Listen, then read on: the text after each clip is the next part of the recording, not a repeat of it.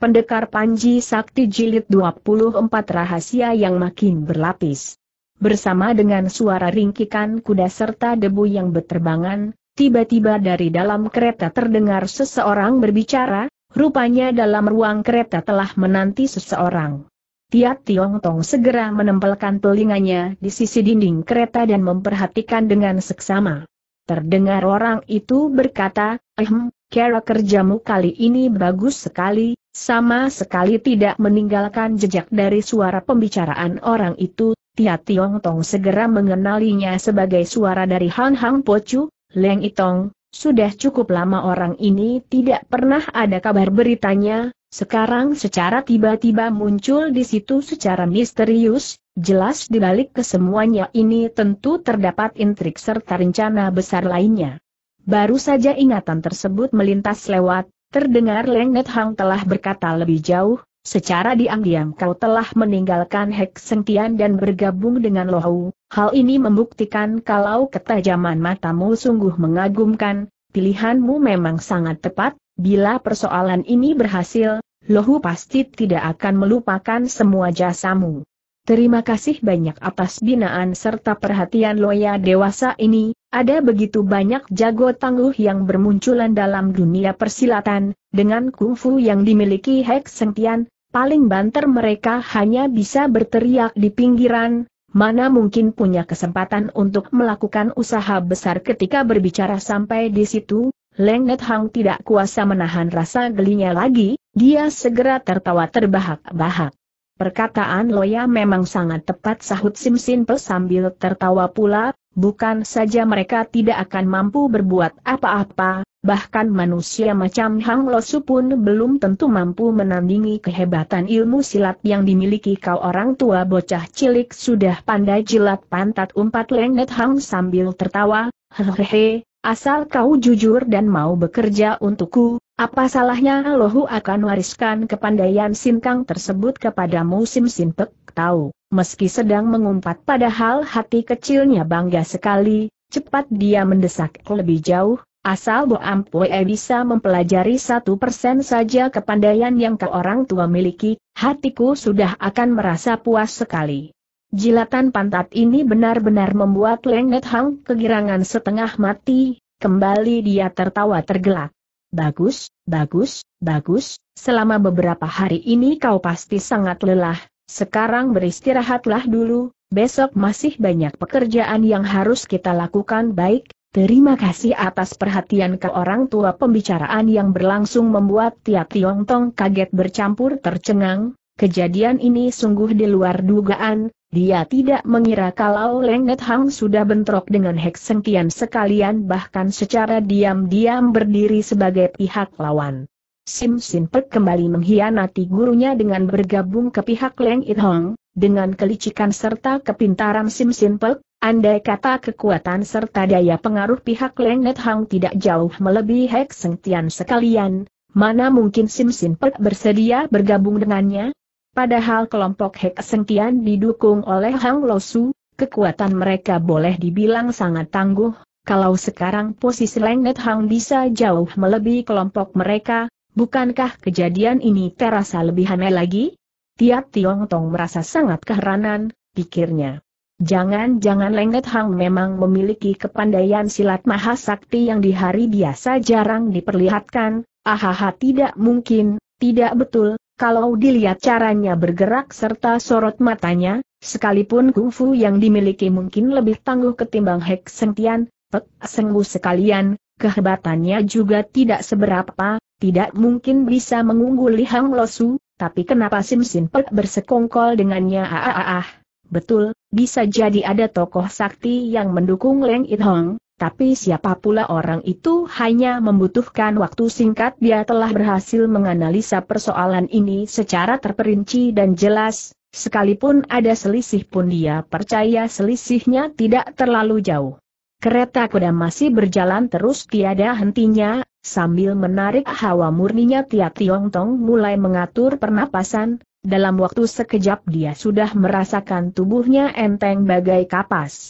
Ketika semedinya sudah mencapai puncak, dia merasa tubuhnya sudah seolah tidak berada di atas kereta lagi, melainkan berbaring di balik awan tebal yang empuk, sama sekali tidak terasa letih. Kereta itu berlarian hampir tiga jam lamanya, waktu itu bintang yang bertaburan di angkasa telah lenyap dari pandangan, kedua ekor kuda jempolan itu pun sudah mengeluarkan bui putih di ujung mulutnya. Tiat Tiong Tong tahu saat ini dia sudah melewati waktu perjumpaannya dengan si iblis jahat, tapi demi keselamatan Im Cheng, terpaksa dia harus mengabaikan semua persoalan untuk sementer waktu. Mendadak terdengar Lengnet Hang membentak nyaring, berhenti ketika kereta sudah berhenti, kembali Lengnet Hang berkata, kau tetap tinggal di sini menjaga keparat Shim itu, jangan teledor, jangan lengah kau orang tua tidak usah khawatir setelah kepergianku nanti, kau baru boleh membebaskan totokan jalan darahnya dan berusaha mententeramkan hatinya Sim Sim Pek tertawa. Waktu itu dia sedang mabuk berat, bagaimana mungkin tahu kalau jalan darahnya sudah tertotok, asal Tecu berbicara satu dua patah kata, tanggung dia akan takluk seratus persen. Baik, perhatikan kembang api yang akan ku lepas nanti, begitu melihat kembang api, kau segera mengajak orang Shim itu menyusul ke situ, sebelum melihat kembang api, Jangan sekali-kali turun dari kereta baik cepat Tiap Tiong Tong menaik tubuhnya dan menyembunyikan diri di dasar kereta, terlihat sepasang kaki melangkah turun dari atas kereta, sepasang kaki dengan sepatu rumput yang nyaris terbuka hingga kelihatan seperti bertelanjang kaki saja, tampaknya aneh sekali. Setelah sepasang kaki yang melangkah turun tadi, tidak nampak orang lain ikut turun dari kereta, diam-diam Tiap Tiong Tong berpikir keheranan, Jangan-jangan dia adalah Leng It Hong. Tapi aneh, kenapa macam begitu dandanannya diambilnya beberapa biji batu dari tanah kemudian disambit ke arah perut kedua ekor kuda itu, karena kesakitan kedua ekor kuda itu meringkik panjang lalu berlarian ke muka, terjadi kehebohan dan kepanikan. Apa yang terjadi terdengar Sim Simpek menegur dari dalam kereta. Mungkin kedua ekor kuda itu sedang edan, tidak ada masalah jawab Seng Kusir cepat. Sementara pembicaraan berlangsung, Tia Tiong Tong telah manfaatkan saat kekalutan itu untuk menyusup keluar dari tempat persembunyiannya, sambil tertawa geli pikirnya, untung Sim Sin sangat penurut dan tidak ikut turun, dengan begitu aku dapat bertindak lebih leluasa bayangan manusia yang sedang bergerak di depan sana adalah seseorang yang mengenakan jubah lebar yang pendek, Rambutnya disanggul macam seorang tosu, kakinya mengenakan sepatu rumput dan membawa sebuah keranjang bambu yang besar. Tiat Tiong Tong semakin tercengang setelah mengetahui orang itu adalah seorang tosu, dia mulai sangsi, dirinya yang salah mengenali suara orang, atau Leng Net Hang memang betul-betul sudah menjadi seorang tosu. Dia tidak berani bergerak kelewat dekat, karena itu hanya mengintil terus agak jauhan, Gerakan tubuh Tosu itu sangat enteng, dapat dilihat kalau kepandaian yang dimilikinya memang cukup tangguh. Walaupun saat ini tenaga dalam yang dimiliki Tiat Tiong Tong sangat tangguh, namun dia belum sempat melatih ilmu. Meringankan tubuh yang hebat, masih untung hawa murninya cukup sempurna sehingga gerakan tubuhnya lebih enteng. Setelah menguntit kurang lebih seperminum teh lamanya, Lamat-lamat dia mulai mendengar suara deburan ombak di kejauhan sana, disusul terlihatlah cahaya lentera di atas perahu nelayan di balik kegelapan. Kehidupan kaum nelayan memang amat susah, Fajar belum lagi menyingsing mereka sudah berlayar ke tengah samudera untuk menangkap ikan, titik cahaya lentera di atas perahu justru menimbulkan pemandangan yang mengesankan di tengah kegelapan malam. Tosu itu masih bergerak terus dengan cepatnya, berjalan menuju ke pesisir. Tanpa ragu Tiap Tiong Tong mengikuti di belakangnya, dia tahu Im Cheng tidak akan terancam bahaya dalam keadaan seperti ini, satu hal yang membuat perasaan hatinya jadi lega. Tosu itu bergerak menuju ke sebuah perahu besar yang menggantungkan dua lentera merah ditambah sebuah lentera berwarna hijau, perahu tersebut berlabuh kurang lebih dua kaki dari tepi pantai, dengan sekali lompatan Tosu itu langsung meluncur naik ke atas geladak. Siapa yang datang dari balik ruang perahu terdengar seseorang menegur. Leng Net Hang sahut Tosu itu cepat. Mendengar itu Tiat Tiong Tong segera berpikir, tidak aku sangka ternyata Leng Net Hang betul-betul sudah menjadi seorang pendeta seandainya berganti orang lain, mereka tentu mengira Leng Net Hang bisa menjadi seorang tosu lantaran kecewa dengan perbuatan kedua orang putrinya yang pergi meninggalkan rumah.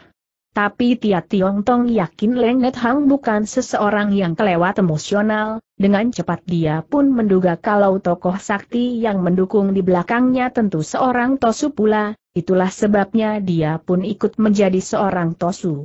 Pintu perahu dibuka orang, dengan cepat Leng Net Hang menyelinap masuk ke dalam ruangan. Tia Tiong Tong tidak tahu apakah tubuhnya akan menimbulkan suara sewaktu melompat naik ke atas perahu nanti, dengan perasaan ragu dia pun mendekam beberapa saat di tepi pantai sambil mengatur pernapasan, tapi akhirnya dia pun ikut melompat naik ke atas perahu. Mau tidak mau pemuda itu harus melompat naik ke atas perahu, sebab bila harus menceburkan diri ke dalam air, niscaya pakaiannya akan basah kuyup. Ternyata ketika menginjak di atas geladak perahu, gerakan tubuhnya sama sekali tidak menimbulkan sedikit suara pun, terbukti ilmu meringankan tubuhnya beberapa tingkat lebih hebat ketimbang Leng It Hong. Diam-diam Tiat Tiong Tong menghembuskan napas lega, pikirnya, aneh, kalau ditinjau dari kemampuan Leng It Hong, rasanya kepandaian yang dimiliki masih terhitung berimbang dengan kemampuan Hek Sengtian sekalian, tapi kenapa caranya berbicara justru begitu tekebur? Sungguh aneh seandainya di hari biasa Leng Net Hang sudah terbiasa tak kabur, saat ini Tia Tiong Tong pasti tidak akan keheranan, tapi setahu pemuda ini, Leng Net Hang selalu bersikap tertutup dan tidak pernah menonjolkan diri, hal itulah yang membuat anak muda ini sadar bahwa di balik kesemuanya itu pasti ada alasan lain. Sebenarnya tidak ada tempat persembunyian di sekeliling ruang perahu itu, masih untung layar perahu belum dinaikkan, tiang layar serta segulung tali besar masih tergeletak di atas geladak, ditambah lagi bayangan gelap yang ditimbulkan layar besar, membuat tempat persembunyiannya saat ini benar-benar tertutup, andai kata tidak diperhatikan dengan seksama, sulit untuk menemukan tempat persembunyiannya itu. Tiat Tiong Tong cukup melongok sedikit ke depan, dari celah-celah lubang hawa yang terdapat di bawah wuwungan ruangan, dia dapat melihat dengan jelas pemandangan dalam perahu itu. Sebuah meja perjamuan sudah disiapkan dalam ruangan, Leng Net Hang duduk di bangku utama, sekeliling meja terlihat Hek Seng Tian, Pek Seng Bu, Suto Xiao, Seng Toan Yo dan Seng Chun Hao duduk menemani. Seng Chun Hao kelihatan duduk tidak tenang, Sepasang alis matanya yang tebal berkerut kencang, sementara Suto Xiao sekalian dengan senyuman gadungannya membujuk Leng Itong untuk minum arak. Paras muka Leng Net Hang saat itu nampak jauh lebih serius ketimbang di waktu biasa, tidak jelas dia sedang gusar ataukah merasa gembira. Tiat Tiong Tong dapat melihat dengan jelas, di atas wajahnya yang kurus kering kini seolah dilapisi oleh selapis hawa hitam, di bawah cahaya lentera, dia nampak sangat menakutkan. Ternyata kalian semua pegang janji terdengar Leng Itong berkata, mau menunggu aku di tempat ini sambil tersenyum buru-buru Suto Xiao menjawab. Setelah menerima undangan dari Leng Heng, mana berani kami datang terlambat bagus, bagus, kembali Leng Hang tertawa kaku, tahukah kalian, karena urusan apa ku undang kalian semua berkumpul di tempat ini? Saudara Leng sambil mengambil sumpit buru-buru Suto Xiao menukas, kau baru datang dari kejauhan, mari makan dan minum arak dulu sebelum membicarakan persoalan utama. Dia segera menyumpit sekerat daging dan dihantar ke dalam mangkuk yang ada di hadapan Leng It Hong.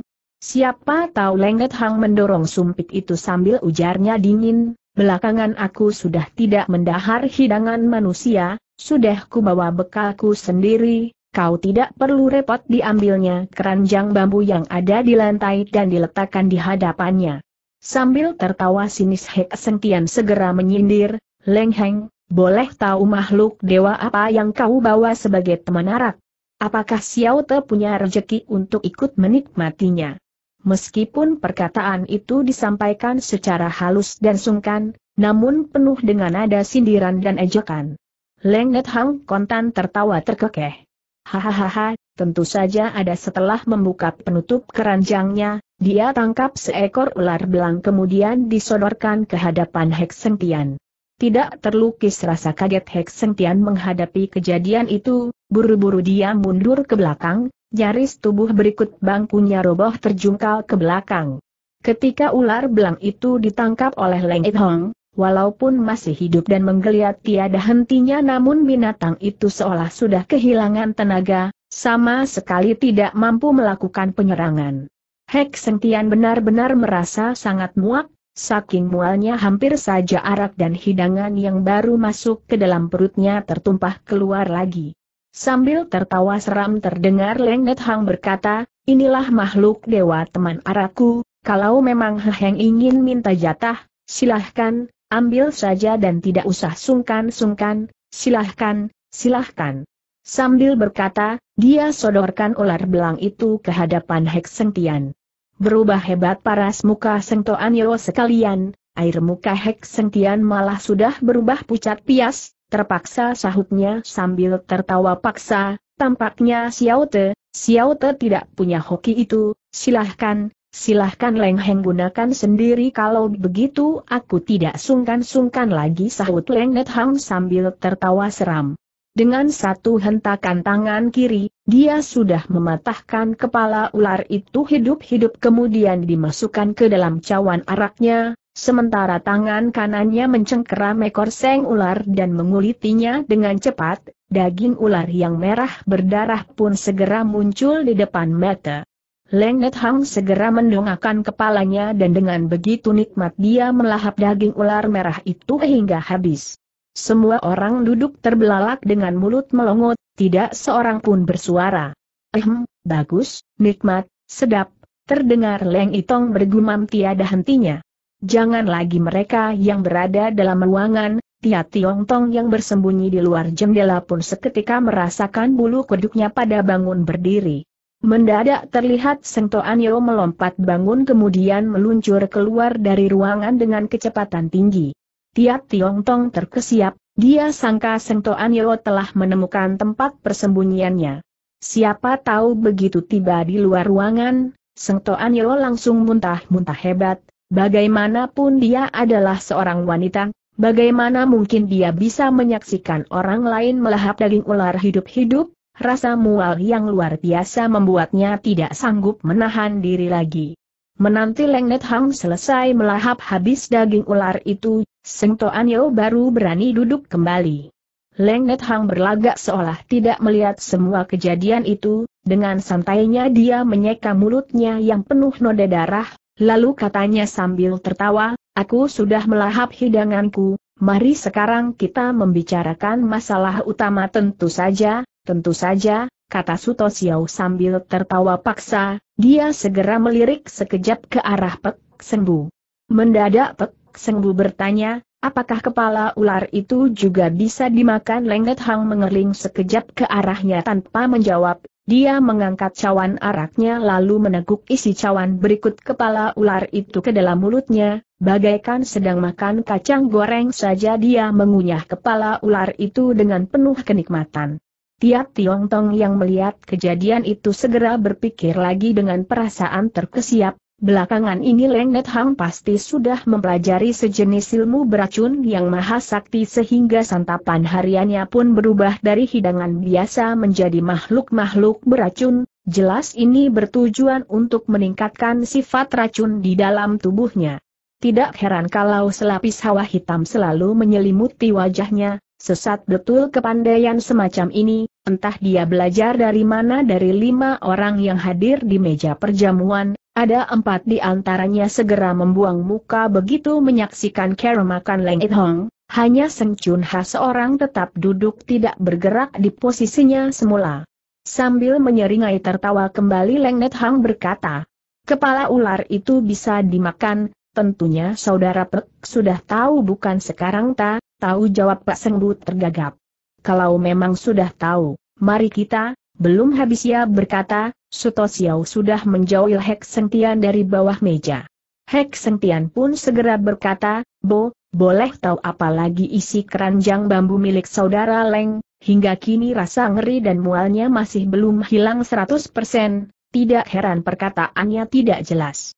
Ada apa Leng Net Hang tertawa seram, apakah saudara Hek juga ingin minta bagian? Bukan, bukan, Xiao Te hanya ingin tahu saja hahaha, baik, kalau ingin bertanya, cepat tanyakan walaupun sedang tertawa tergelak, paras mukanya sama sekali tidak melintas secerca senyuman pun, Tia Tiong Tong yang melihat dari atas tentu saja dapat melihat dengan jelas sekali.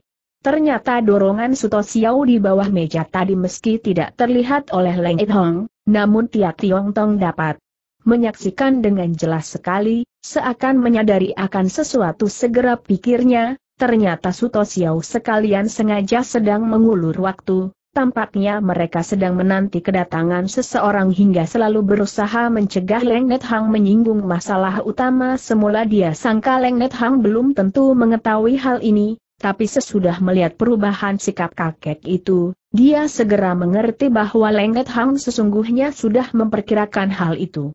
Melihat pertikaian yang terjadi di antara kelompok itu, diam-diam Tia Tiong Tong merasa amat girang. Tampak Leng Net Hang mendongakkan kepalanya tertawa tergelak, menggunakan kesempatan itu Suto Xiao sekalian saling mengedipkan mata memberi tanda, menanti Leng Itong menghentikan tertawanya, Suto Xiao sekalian pun ikut duduk dengan rapi. Dengan pandangan dingin Leng Net Hang menyapu sekejap wajah Suto Xiao sekalian, tiba-tiba dia bertanya, kalian berencana hendak mengulur waktu sampai kapan sebelum kita bisa bicara serius? Xiao Te semua tidak tahu urusan serius apa yang hendak Leng Heng bicarakan, mana mungkin sengaja mengulur waktu sahut Suto Xiao cepat. Betul-betul tidak tahu tanya Lengget Hang sambil menyeringai seram. Xiao Te mana berani berbohong, sekali lagi Lengget Hang mendongakkan kepalanya tertawa keras. Aku Lengget Hang sudah puluhan tahun hidup malang melintang dalam dunia persilatan, pertempuran macam apa pun pernah kujumpai, tidak disangka pada hari ini masih ada orang memandangku sebagai orang goblok. Suto Xiao tidak sanggup menahan diri, paras mukanya berubah hebat, tegurnya, apakah saudara Leng tidak merasa kalau perkataanmu sedikit kelewatan? Selama ini Xiao Te selalu menaruh hormat kepadamu, kenapa saudara Leng malah berkata begitu? Lenget Hang seketika menghentikan gelak tertawanya, sambil menggebrak meja teriaknya, kalau tidak berkata begitu, apalagi yang mesti kulakukan? Dalam gudang penyimpanan di benteng Hon Hang Po, tersimpan berjuta tahil emas murni, bukankah kalian yang telah merampoknya emas apa Suto Xiao berlagak bingung, setelah memandang sekejap sekeliling tempat itu, lanjutnya, Saudara Hek, Saudara Pek, Seng Anio, apakah kalian pernah melihat uang emas milik Saudara Leng? Hek Sengtian, Pek Sengbu serta Sengto Anyo serentak menggelengkan kepalanya berulang kali, serunya hampir berbareng, uang emas apa walaupun mereka pun berusaha meniru lagak Suto Xiao, sayang kelicikan mereka tidak setara dengan Suto Xiao, bukan saja mereka tidak bisa meniru secara benar bahkan kelihatan sangat menggelikan. Perlahan-lahan Lengket Hang berkata, ada segerombol bajingan yang punya mata, tidak berbiji, Menggunakan kesempatan di saat aku tidak ada di benteng ternyata telah merampok berjuta tahil emas murni dari gudangku, aku sangka itu perbuatan kalian semua, saudara Leng tentu salah paham selah Suto Xiao cepat sambil tertawa paksa. Leng Net Hang sengaja berkerut kening, katanya. Tapi kalau bukan perbuatan kalian, siapa pula yang melakukan? Jangan-jangan perbuatan dari kawanan bajingan cecunguk yang tidak tahu malu Seng Chun Hao yang selama ini hanya duduk termenung tiba-tiba melompat bangun, teriaknya, tak usah mengumpat lagi, aku Seng Chun Hao yang telah mengambil uang emasmu itu berubah paras muka Seng Toanio, teriaknya, Hao Ji, kau, kau sudah edan kembali Leng Net Hang tertawa keras, ujarnya, bagaimanapun Seng Chun Hao berani berbuat berani bertanggung jawab, tapi pengakuan Bu apa tidak kelewat bodoh?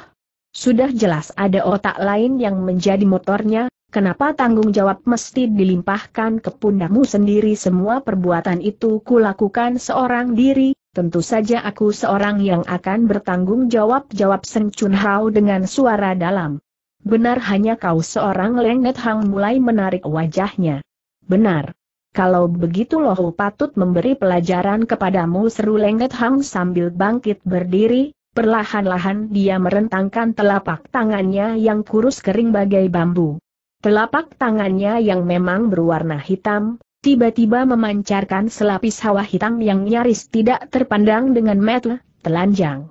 Dalam sekilas pandang semua orang sudah tahu kalau telapak tangannya telah terlatih dengan semacam ilmu beracun yang sangat menakutkan, meski Seng Chun Hao tidak gentar menghadapinya, namun Seng Toan Yo dengan wajah berubah segera berteriak, tunggu sebentar kenapa jengek Lengnet Hang sambil melirik, jangan-jangan kau pun ikut mengambil bagian. Seng Toan Yo tidak menanggapi pertanyaan itu, sebaliknya malah berteriak keras, Suto Xiao, Hek Sengtian, Pek Sengbu, kalian sudah melihat putraku tampil mengakui perbuatan itu, masa kalian semua masih bisa duduk dengan begitu santainya? Benar saja, Suto Xiao sekalian tidak bisa duduk lagi dengan tenang, satu per satu mereka berseru sambil tertawa. Seng Toanio, buat apa kau mesti cemas, cepat atau lambat? Akhirnya toh kami akan mengatakannya kepada saudara Leng hahaha, Ternyata kalian semua pun tidak malu disebut lelaki sejati Lengnet Hang tertawa tergelak. Jelas maksud dari perkataan itu adalah mengumpat mereka sebagai bukan lelaki sejati. Tanpa seizin Leng Heng, kami telah mengangkut semua uang emas milikmu, ini disebabkan kami pun tahu, asal dapat memberikan alasan yang tepat, niscaya saudara Leng pun akan menyetujuinya ujar Sutosiau kemudian. Bicara sampai di situ, dia melirik Hek Sengtian sekejap. Dengan cepat Hek Sengtian melanjutkan, kami berpendapat, pada akhirnya Leng Heng pun pasti akan menyetujui langkah yang kami ambil, jadi diambil duluan pun tidak menjadi masalah maka kami pun mengangkut dulu semua uang emas itu Pek Sengmu menambahkan. Leng Net Hang kembali mendongakkan kepalanya tertawa tergelak. Hahaha, menggelikan, sungguh menggelikan, tidak disangka ternyata kalian bertiga jauh lebih memahami jalan pikiran lohu ketimbang diriku sendiri setelah berhenti tertawa, hardiknya, apa alasannya?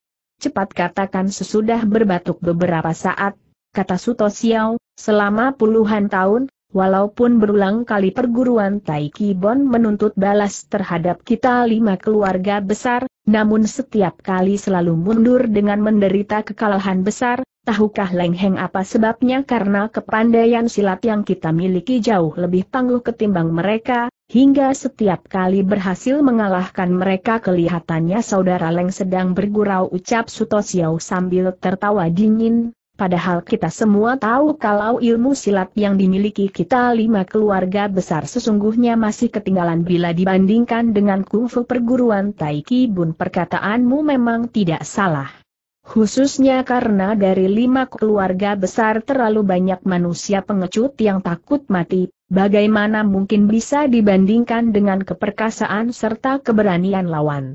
Suto Xiao berlagak seolah tidak mendengar, ujarnya lebih lanjut, sebetulnya Xiao Te sendiri pun tidak jelas apa sebabnya pihak yang lemah bisa mengalahkan pihak yang kuat, sampai kemunculan perguruan Tai Kibun untuk kesekian kalinya, sesuai pesan terakhir ayahku, Xiao Te pun membuka sepucuk surat wasiatnya, setelah Xiao Te baca isinya baru ketahuan sebab musabab yang sesungguhnya, bicara sampai di sini, tentunya saudara Leng keheranan bukan, kenapa dalam persekutuan lima rejeki hanya keluarga Suto yang mengetahui sebab musababnya sementara orang lain tidak tahu, benar, Loh memang sedang keheranan meskipun sekarang persekutuan lima keluarga dikomandani saudara Leng.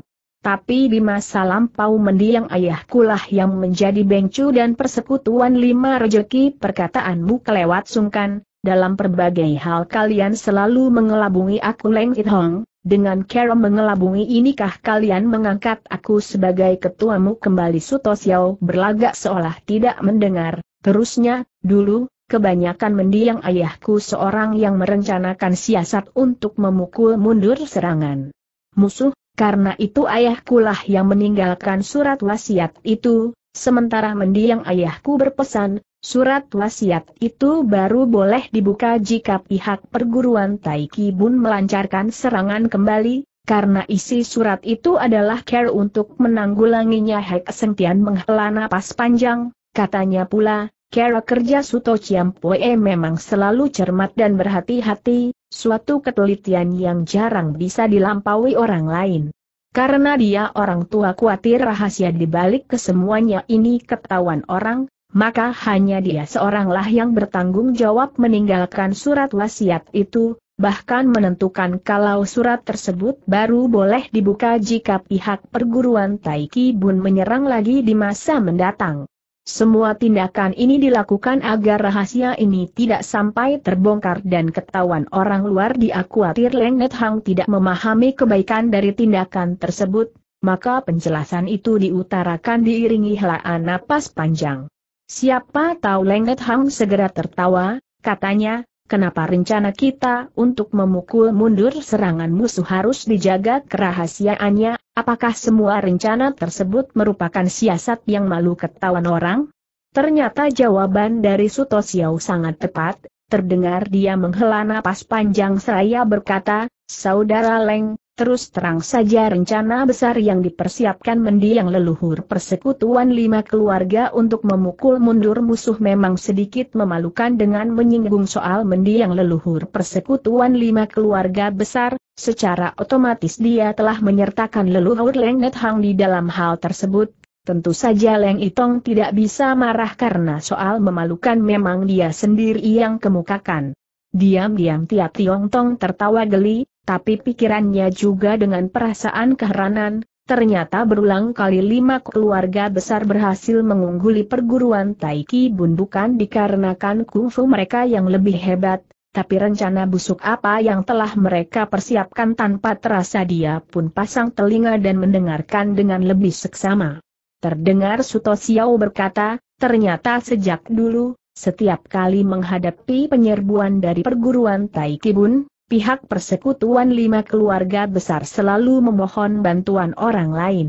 Kalau kita analisa kembali, pihak perguruan Taiki Bun selalu memandang serius masalah balas dendam, mereka selalu menyerang tanpa memperdulikan keselamatan sendiri, ditambah lagi orang-orang perguruan Taiki Bun hampir semuanya pemberani, perkasa dan rata-rata berkungfu tinggi, Sebaliknya kita lima keluarga besar jarang bergaul di waktu biasa, belum tentu ada jago persilatan yang sudi membantu pihak kita dengan mengambil resiko bermusuhan melawan perguruan Taiki Bun.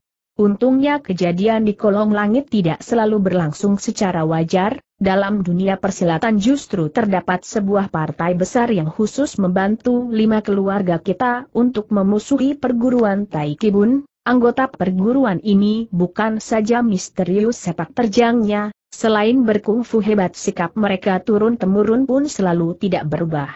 Asal perguruan Taiki Bun datang mencari balas terhadap persekutuan lima keluarga, dan kita mengirim orang untuk minta bantuan, mereka tidak pernah menampik permintaan kita, yang lebih hebat lagi adalah anggota perguruan tersebut tidak pernah mencari nama, kedudukan maupun jasa, anggota perguruan mereka yang dikirim tidak segan menurunkan derajat sendiri dengan bergabung dalam anak buah kita semua.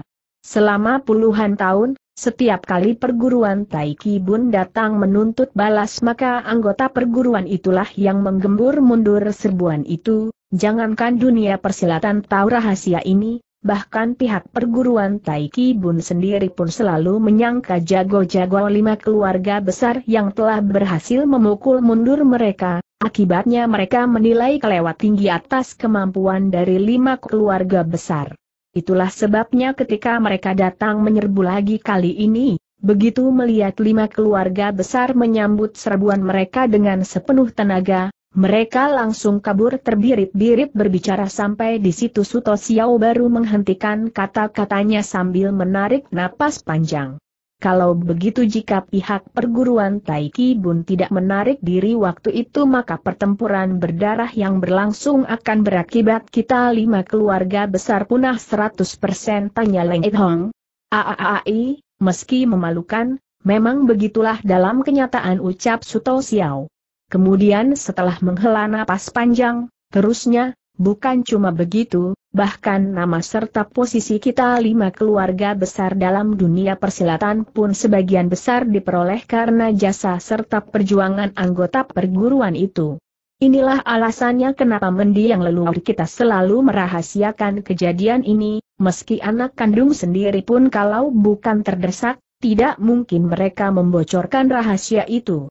Sebaliknya orang-orang dari perguruan itu pun selalu datang tanpa suara, pergi pun tanpa bicara, belum pernah mereka membicarakan masalah ini kepada siapa pun tiba-tiba Hek Sengtian ikut bicara, meskipun kejadian ini memang cukup memalukan, tapi meski memalukan pun kita tetap harus melakukannya, bukan begitu saudara Leng Leng Net Hang hanya mendengus dingin sebagai jawaban. Kembali Suto Xiao berkata, dalam surat wasiat itu, mendiang ayahku telah menjelaskan secara terperinci bagaimana caranya melakukan hubungan kontak dengan perguruan itu, beliau minta Xiao berkunjung ke sana.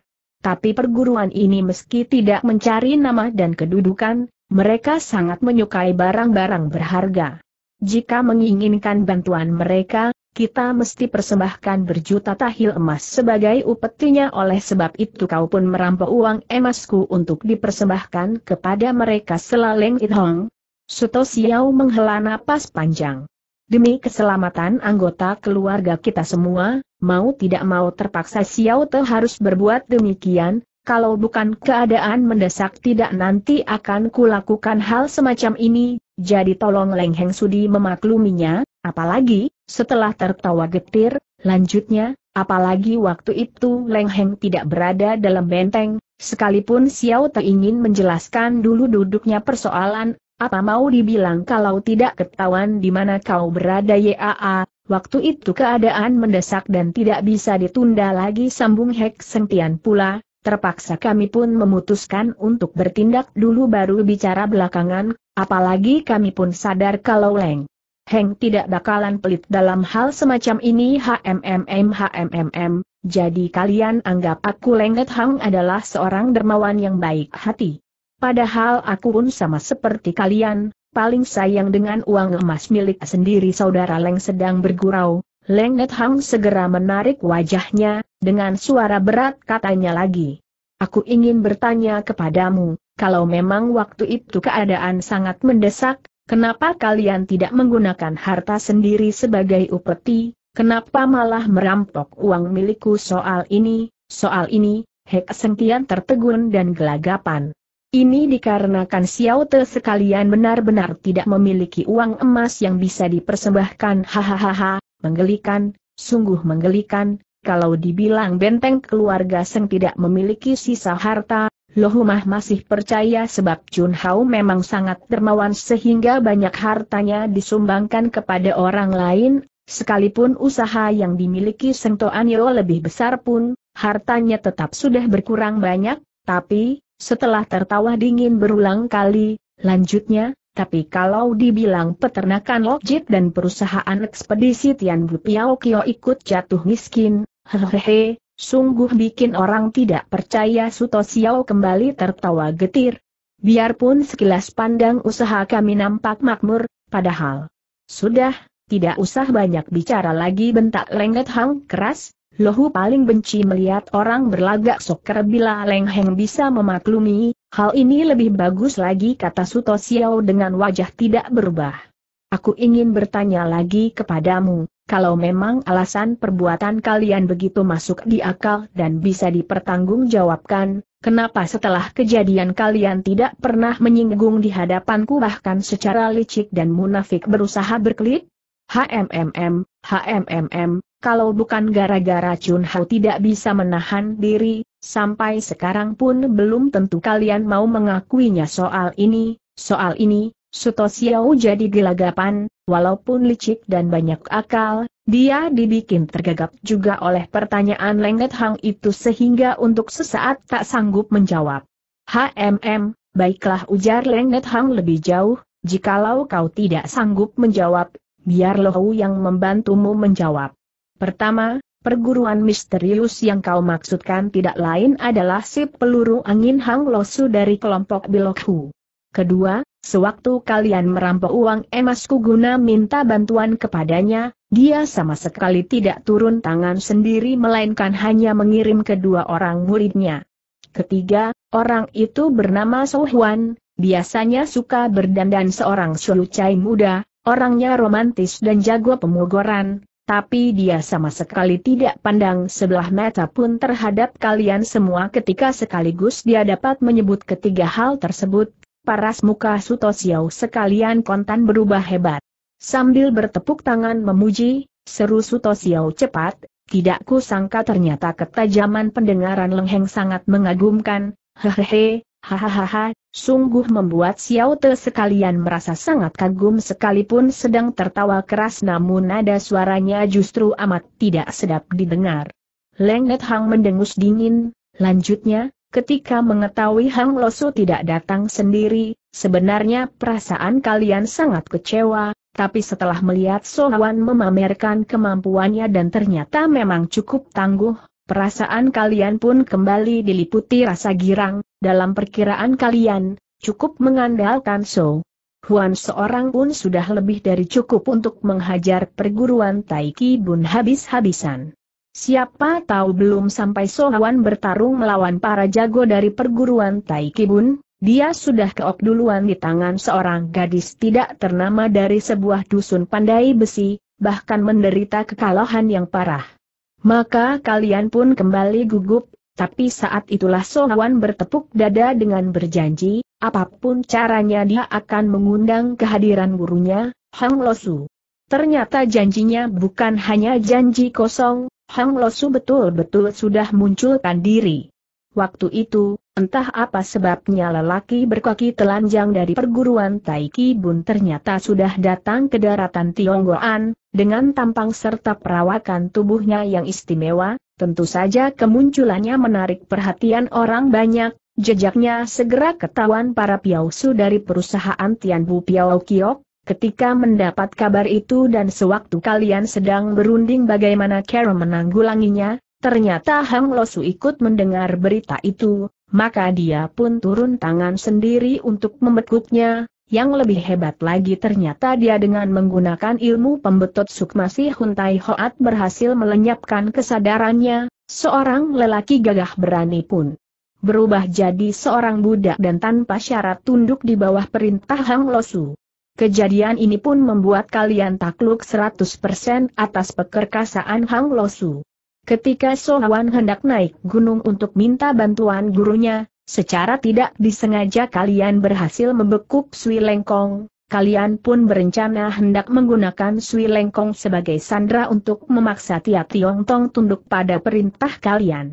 Tatkala Tia Tiong Tong hampir saja tunduk pada ancaman, Siapa tahu muncul seorang manusia aneh yang berilmu tinggi, bukan saja dia berhasil mengusir kalian semua, malah berhasil pula merebut Sui Lengkong. Maka kalian pun melaporkan kejadian ini kepada Hang Losu, tampaknya Hang Losu tahu dengan jelas asal-usul manusia aneh itu tapi belum pernah mengungkitnya di hadapan kalian.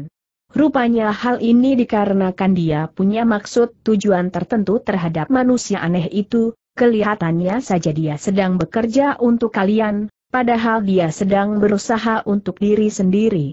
Sungguh mengenaskan, ternyata tidak seorang pun di antara kalian yang tahu ke mana perginya manusia aneh itu. Tidak disangka pada saat yang bersamaan Kiu Cukui Bo kakak beradik sedang menyebar undangan atas nama manusia aneh itu, kalian pun kebetulan memperoleh undangan tersebut. Dalam gerangnya Hang Losuk pun mengajak kalian menyerbu ke sana, kalian sangka dengan mengandalkan kungfu yang dimiliki Hang Losu, segala sesuatunya akan berjalan dengan lancar. Siapa tahu di luar langit masih ada langit, biarpun kungfu yang dimiliki Hang Losu sangat hebat, ternyata masih ada orang lain yang memiliki kungfu jauh lebih hebat dari kemampuannya. Di tempat itulah kalian benar-benar terbuka matanya, Selain bertemu dengan permaisurinya Kaisar Malam, kalian pun telah bertemu dengan putra Kaisar Malam serta si sambaran petir Choh Sam Nio sekalian, tokoh-tokoh silat yang di hari biasa jarang bisa dijumpai, khususnya kawanan gadis suci berbaju hitam yang mengaku sebagai utusan langit, sepak terjang mereka membuat kalian makin tercengang, apalagi setelah melihat manusia macam Choh Sam Nio dan Hang Lo Su pun tidak berani mencari gara-gara dengan mereka, akibatnya kalian pun tidak bisa berbuat banyak ketika melihat orang-orang itu menolong Tia Tiong Tong. Kemajuan ilmu silat Tia Tiong Tong yang begitu pesat pun tidak pernah kalian mimpikan sebelumnya, kalau dulu dia hanya prajurit yang pernah keok di tangan kalian maka hari itu kalian berlimalah yang dihajar hingga amat mengenaskan. Hasil pertarungan di Bukit Losan adalah Choh Sam Nio dan Hang Lo Su kabur ketakutan, Sohuan mampus di tempat itu sementara Kiu Cukui Bo kakak beradik beserta anak buahnya diboyong pulang semua ke Pulau Siang Chuncu oleh rombongan wanita suci itu. Keadaan kalian pun tentu saja amat mengenaskan, tapi melihat Tia Tiong Tong sekalian masih berada di atas bukit, kalian pun enggan melepaskannya dengan begitu saja, maka diputuskan untuk menunggu di bawah bukit. Sehari kemudian ternyata Hang Losu muncul lagi di Bukit Losan, tampaknya kedatangannya kali ini disertai bala bantuan yang tangguh, maka dia pun berkoar-koar menantang bertarung. Siapa tahu ratu dari Kaisar Malam, putra Kaisar Malam beserta Tia Tiong Tong dan Sui Lengkong sekalian telah bersembunyi di dalam ruang rahasia, umpatan Hang Losu nyaris tidak terdengar mereka. Ketika gagal menemukan jejak orang-orang itu, kalian pun segera melepaskan api dan membakar istana itu hingga rata dengan tanah, sementara harta kekayaannya kalian rampok habis-habisan. Dalam kejadian ini kalian berhasil mengelabui Hang Losu, kalian pun tidak ingin ada orang lain yang tahu akan rahasia ini, sebab makin banyak yang tahu berarti harta rampokan itu harus dibagikan lebih banyak. Begitu juga ketika kalian merampok uang emas milikku, kalian sangka karena punya alasan yang cukup kuat maka Lohu pasti tidak bisa banyak membantah. Tapi setelah memperoleh hasil rampokan yang terakhir, kalian pun segera berubah pikiran, kalian berencana mengembalikan uang milikku seandainya Lohu tahu akan keadaan ini. Maka dengan segala tipu daya kalian pun berusaha mengelabui Lohu, Siapa tahu justru Lohu telah berhasil menyelidiki kejadian ini dengan sejelas-jelasnya. Bicara sampai di situ dia pun mendongakkan kepalanya tertawa seram, jengetnya, Suto Xiao, Hek Sengtian, apakah perkataanku ada yang salah? Sementara itu Suto Xiao sekalian sudah berdiri dengan wajah hijau membesi, penjelasan itu membuat mereka semakin terkesiap, untuk sesaat mereka hanya bisa berdiri tertegun dengan mata terbelalak dan mulut melongot, wajahnya semakin memucat bagai mayat. Siapa pun tidak menyangka kalau Lengget Hang dapat membongkar semua rahasia besar mereka sedemikian jelasnya, bahkan seolah-olah dia ikut hadir di dalam semua peristiwa ini. Satu kejadian yang mimpi pun tidak pernah mereka duga. Begitu pula dengan Tia Tiong Tong yang bersembunyi di luar ruang perahu, tubuhnya nyaris terjatuh dari tempat persembunyian. Penuturan dari Suto Xiao membuatnya tercengang, dia tidak menyangka kalau kekalahan yang diderita perguruan Taiki Bun selama puluhan tahun terakhir bukan dikarenakan kungfu mereka kalah dibandingkan persekutuan lima keluarga, sebaliknya mereka justru kalah di tangan perguruan yang dipimpin Hang Losu. Rahasia besar ini betul-betul telah menipu perguruan Taiki Bun selama banyak tahun, menipunya habis-habisan. Walaupun Tia Tiong Tong merasa sedih bercampur gusar, anehnya ternyata dia pun merasa girang, sebab dia tidak mengira kalau rahasia yang begitu besar dapat terdengar olehnya tanpa sengaja. Sekalipun sebagian besar dari penuturan Lengget Hang itu melibatkan pula dirinya, di mana dia bahkan langsung berada di tempat kejadian, namun liku-liku di balik semua peristiwa itu sama sekali tidak terduga olehnya khususnya mengenai tertangkapnya lelaki berkaki telanjang, kepergian Kiu Cukwi bos sekalian, sebab musabab kenapa Hang Losu memusuhi perguruan Taiki Bun serta siapa yang telah membakar serta merampok istana di Bukit Losan. Padahal semua rahasia itu merupakan rahasia yang wajib diketahui olehnya walau dengan mengorbankan nyawanya sekalipun, tidak disangka saat ini Lengget Hang telah menjelaskan semua kepadanya, tanpa bayaran bahkan tanpa pengorbanan apa pun. Inilah yang disebut, dicari sampai sepatu jebol pun tidak ketemu, tanpa membuang tenaga segalanya langsung ditemukan. Dia harus berterima kasih kepada Leng It Hong, khususnya terhadap Sim Sin Pek. Dia sudah menduga, semua rahasia besar ini pasti diketahui Leng It Hong dari pengakuan Sim Sin Pek, dan hanya manusia macam Sim Sin Pek saja yang mengetahui begitu banyak rahasia dari Suto Xiao sekalian. Kini tinggal satu masalah yang belum diketahui Tia Tiong Tong, siapakah pembantu yang diundang Hang Losu secara diam-diam. Tapi satu hal dia tahu pasti, kungfu yang dimiliki orang itu pasti luar biasa hebatnya. Da, dari mana kau, kau bisa tahu semua kejadian ini? Tanya Hek Sentian dengan nada gemetar. HMMM, HMMM, kalau tidak ingin orang lain tahu, Janganlah kau lakukan sahut Lengnet Hang sambil tertawa dingin. Tapi, tapi, dalam peristiwa ini, Hek Heng tidak perlu banyak bertanya lagi tukas Suto Xiao tiba-tiba dengan suara dalam, masa kau masih belum bisa menduga, siapa yang telah membocorkan semua rahasia ini kepada Leng Heng siapa orang itu berubah paras muka Hek Sengtian. HMM, kecuali murid kesayanganmu itu, ada siapa lagi ternyata bajingan itu, teriak Hek Sentian gusar, dia melirik Lenget Hang sekejap, tiba-tiba tambahnya sambil tertawa terkekeh, Sinpek, dia memang anak pintar, penjelasan yang bagus sekali, sebetulnya Xiao Te sekalian. Memang sedang kebingungan bagaimana caranya menjelaskan peristiwa ini kepada Leng Heng, Ternyata bocah itu mengerti kesulitan gurunya dengan membeber dulu masalahnya kepada saudara Leng, hahaha, bagus, bagus sekali, kalau Suto Xiao termasyhur karena kelicikan hatinya, maka kecepatan Hek Sentian berubah sikap jauh di luar dugaan siapa pun. Leng Net Hang kembali mendongakkan kepalanya tertawa keras. Hek Sentian jengeknya, kejadian sudah berkembang jadi begini, Buat apa kau mesti menipu orang membohongi diri sendiri, memangnya kau sangka aku Lengget Hang hanya seorang bocah usia tiga tahun yang bisa dibohongi secara mudah lantaran malu Hek Sentian jadi naik pitam, sambil menggebrak meja teriaknya, Leng Heng, kau sangka aku Hek Sentian betul-betul takut kepadamu. HMM, kalau bukan lantaran mengikat kita pernah punya hubungan di masa lalu, Kau kira aku mau mengalah terus kalau tidak mengalah lantas kenapa ejek Lengnet Hang tanpa berubah muka?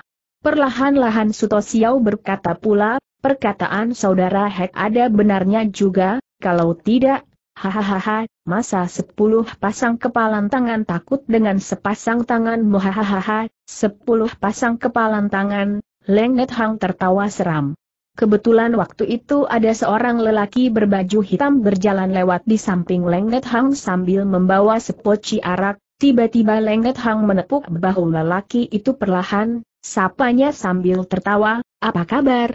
Baik-baik kau baik, jawab lelaki itu tertegun dan kebingungan.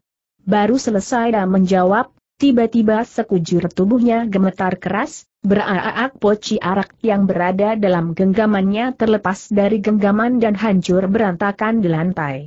Lelaki itu adalah seorang piausu dari perusahaan ekspedisi Tianbu Piao Kiok, ketika Hek Sentian menyaksikan anak buahnya gugup, dengan cepat dia melompat bangun sambil membentak gusar, budak yang pingin mampus, cepat dibersihkan lalu.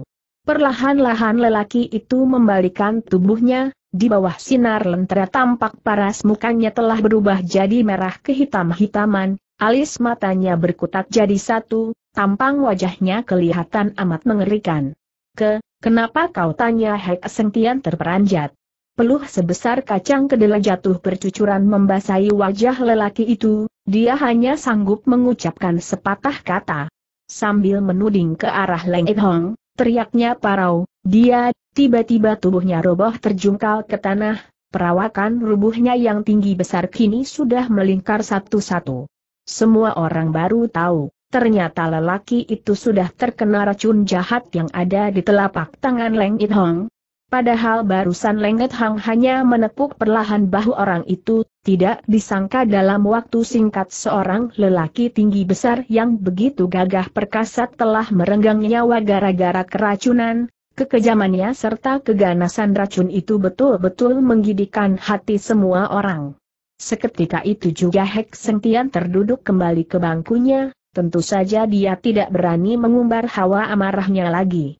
Tidak menunggu Lengget Hang bicara, Pek Sengbu segera berbicara duluan, katanya, kalau memang peristiwa ini tidak bisa mengelabui saudara Leng lagi, lebih baik kita rundingkan secara terbuka. Dia sama sekali tidak menyinggung kembali masalah yang baru lewat, bagaimana dia bentrok dengan Hek Sengtian, mengancam Suto Xiao maupun melukai seorang anak buah mereka, seolah-olah tidak pernah terjadi peristiwa semacam itu di sana, bahkan permintaan kali ini disampaikan secara jujur. Tiat Tiong Tong yang menyaksikan kejadian ini kembali menghela napas, pikirnya, Walaupun kungfu yang dimiliki orang-orang itu tidak terlalu menakutkan, tapi kebusukan serta kelicikan mereka sangat mengerikan, jauh lebih menakutkan ketimbang ilmu silat macam apa pun sementara itu terdengar Lengnet Hang berkata. Memang seharusnya sedari tadi persoalan ini dibicarakan secara terbuka, apakah kalian tidak merasa sudah terlambat untuk mengucapkan perkataan semacam itu sekarang Pek? Sengbu berlagak seolah sama sekali tidak mendengar ejekan itu, ujarnya lebih jauh, kami memang sepantasnya mengembalikan uang sejumlah jutaan tahil emas itu kepada Leng Heng, tapi kami pun berharap Leng Heng mau mementingkan masalah secara keseluruhan untuk tidak menaruh curiga serta prasangka jelek terhadap kami semua. Kita mesti bersatu padu bersama Hang Lo Chiam Poe dalam usaha menumpas perguruan Tai Kibun, Mula-mula dia berusaha menggerakkan perhatian Leng Itong dengan menawarkan pengembalian uang emas miliknya, kemudian baru membangkitkan semangat kesatuannya dengan menyinggung masalah perguruan Tai Kibun, boleh dibilang cara diplomasi yang dilakukan orang ini sangat lihai. Siapa tahu Lenget Hang segera tertawa dingin, katanya, uang emas sejumlah jutaan tahil hanya berupa benda keduniawian, sekalipun tidak diperoleh kembali, bagi Lohu juga bukan masalah, tapi kalau suruh aku bekerja sama dengan Hang Losu, hal ini tidak mungkin bisa terjadi. Apakah saudara Leng memandang enteng kemampuan silatnya? Tanya Pek Sengbu agak tertegun.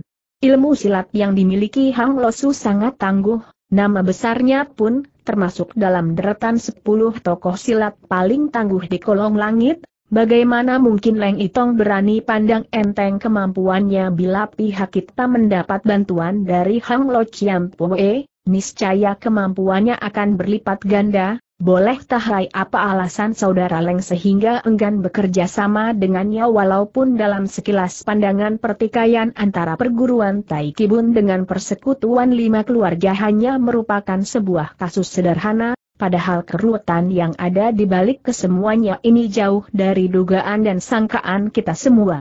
Kalau didengar dari perkataan Leng Heng, jangan-jangan dalam kasus pertikaian ini selain melibatkan Hang Lo Chiam Poe, juga melibatkan jago-jago silat lainnya tanya Pek Sengbu keheranan bukan hanya melibatkan jago lain bahkan mereka yang terlibat dalam persoalan ini merupakan tokoh-tokoh silat mahasakti yang sudah lama hidup mengasingkan diri dari urusan dunia persilatan. Walaupun hanya beberapa patah perkataan yang sederhana namun sudah cukup membuat jantung Tiat Tiong Tong seakan hendak melompat keluar dari rongga dadanya. Pek Sengbu sekalian pun kelihatan ikut tertegun sehabis mendengar ucapan itu, wajah mereka berubah hebat. Sambil tertawa Suto Xiao segera berkata, ternyata di balik kasus ini masih tersimpan rahasia lain, sampai Xiao Te sendiri pun tidak tahu akan hal ini, tapi bagaimana mungkin saudara Leng bisa mengetahuinya HMM, masih banyak persoalan yang tidak kau ketahui Xiao Te sekalian akan pasang telinga baik-baik untuk mendengarkan penjelasan dari Leng Heng buru-buru Pek menyambut. Cepat dia mengambil poci arak dan memenuhi sebuah cawan untuk Leng It Hong. Tanpa sungkan Leng It Hong meneguk habis isi cawan itu, kemudian baru ujarnya, Suto Chiam Pue bisa menyiapkan surat wasiat yang ditujukan kepada Suto Xiao, begitu juga dengan mendiang ayahku, beliau pun meninggalkan sepucuk surat wasiat untukku. Apa isi surat wasiat itu? Seru Suto Xiao dengan wajah berubah. Leng Net Hang sama sekali tidak menengok. Sekejap pun ke arahnya, ia berkata lebih jauh, Walaupun surat wasiat yang dimiliki Suto Xiao berisi halal yang sangat rahasia, tapi rahasia yang diungkap mendiang ayahku jauh lebih banyak lagi, ketika berbicara sampai di sini, mendadak paras mukanya yang merah kehitam-hitaman berubah jadi pucat pasi, peluh sebesar kacang pun butir demi butir membasahi jidatnya. Diam-diam Suto Xiao tertawa, tapi di luar dia berlagak seolah kaget, teriaknya, Leng Heng, Kenapa kau sekujur tubuh Lengnet Hang gemetar keras? Tampaknya dia sedang berusaha menahan siksaan dan penderitaan yang luar biasa hingga tidak sempat menjawab pertanyaan itu. Dari dalam keranjang bambunya dengan cepat dia mengambil seekor kala jengking kemudian dimasukkan ke mulut dan dikunyahnya hidup-hidup. Selesai menghabiskan seekor kala jengking, Lengnet Hang baru menghembuskan napas lega, paras mukanya pulih kembali seperti sedia kala, Selapis hawa hitam pun kembali menyelimuti mimik wajahnya. Suto Xiao sekalian adalah jago-jago kawakan yang banyak pengalaman, dalam sekilas pandang mereka sudah tahu kalau Leng Net Hang telah mempertaruhkan keselamatan jiwanya demi mempelajari ilmu sesat itu, jelas dia ingin cepat lihai sehingga menempuh segala resiko. Walaupun pada akhirnya dia berhasil mempelajari ilmu sesat itu, namun seluruh nadi dan peredaran darahnya telah dipenuhi racun keji, setiap saat dia wajib menelan makhluk-makhluk beracun untuk melawan serangan racun dari tubuhnya, jika tidak menggunakan metode racun melawan racun maka sekujur tubuhnya akan sangat menderita. Sebaliknya setiap kali dia menelan seekor makhluk beracun maka sifat racun dalam tubuhnya akan satu tingkat lebih mendalam, tenaga pukulannya pun makin beracun, tapi sebagai akibatnya serangan racun di tubuhnya akan bertambah hebat, waktu kambuh pun makin bertambah cepat. Maka dia pun butuh menelan makhluk beracun semakin banyak, begitulah keadaannya, Keadaan itu baru terhenti jika dia tidak sanggup lagi memenuhi kebutuhan makhluk beracunnya. Diam-diam Suto Xiao kegirangan, pikirnya, Leng Net Hang wahai Leng It Hong, walaupun saat ini aku takut menghadapimu, tapi suatu saat nanti akan kusaksikan.